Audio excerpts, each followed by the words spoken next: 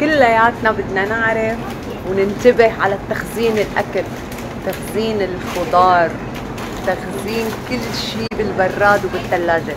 فكرنا إذا حطينا أي شيء بالثلاجة معناته لحنا شغلنا صح. انتبهوا الخضار هي أكبر بكتيريا وفيروسات إذا تخزنت بطريقة غير صحيحة. وأنتم مع اشعة شمعتك رح تاخذوا كل شيء مفيد بإذن الله ومعلومات مفيدة. تعالوا نشوف كيف بدنا نخزن البقدونس ويضل عنا أسبوع كامل وأكثر من أسبوع بدون ما يخرب بدون ما يفقد عناصره المفيدة. طبعا هذا كل شيء أخضر مو بس البقدونس. أي شيء أخضر بتقدروا تخزنوه بهي الطريقة. يلا Hi girls and boys, please like and subscribe these videos for more fun videos and you can have more fun with us. And please subscribe and turn on the notifications bell so you don't miss any videos from us. Bye!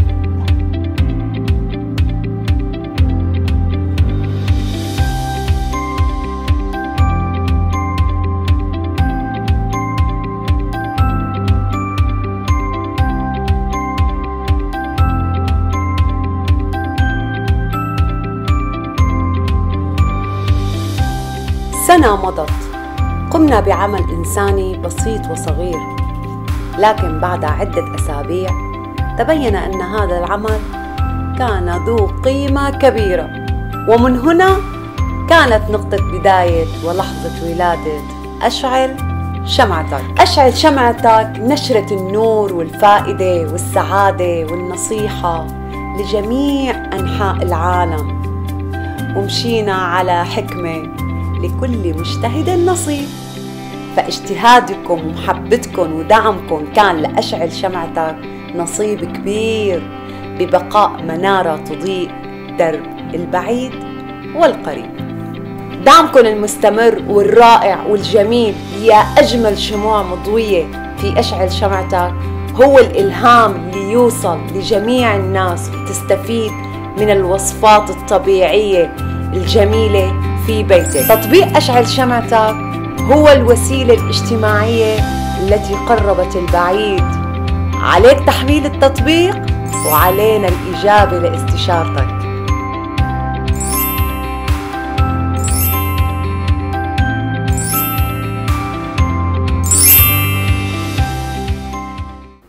دائما بحب فيدكم بجديد دائما بحب أعطيكم الجديد حتى فيدكم أنتم ببيوتكم انكم ما تخسروا كمان الخضرة.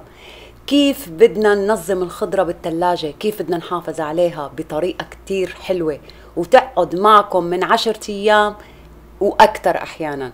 لأن الخضروات احتوائها بسعيرات حرارية كتيرة واحتواء على أغذية اللي بنتناولها بشكل يومي ما حنقدر أحيانا نشتريها كل يوم كل يوم.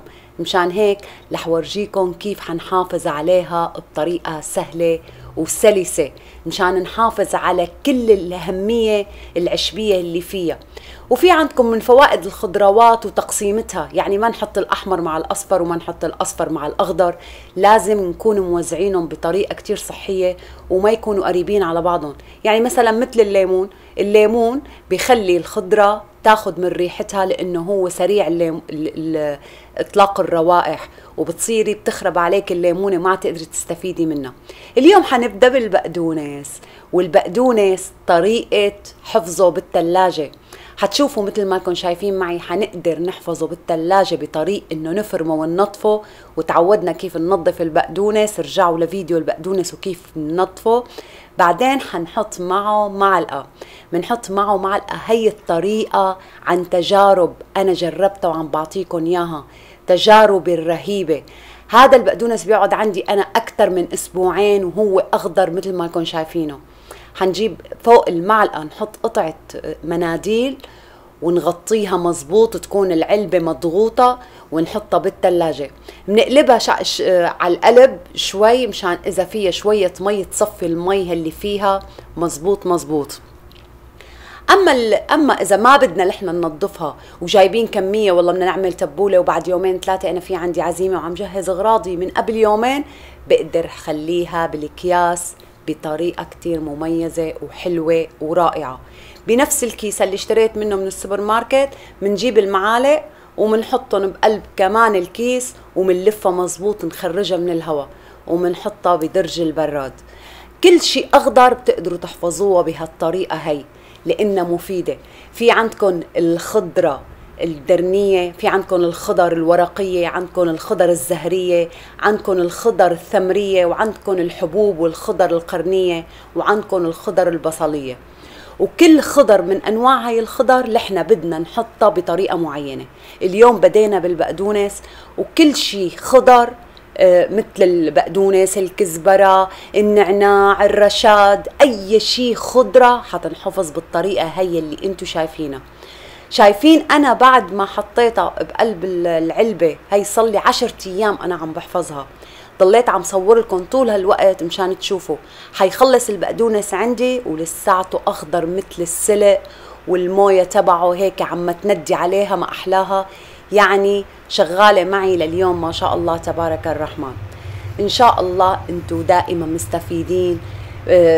وبحب أنا اعطيكم الفوائد مشان ما تخسروا خضرتكم مشان ما ترموها بمعلقه بدون ما تتكلفوا.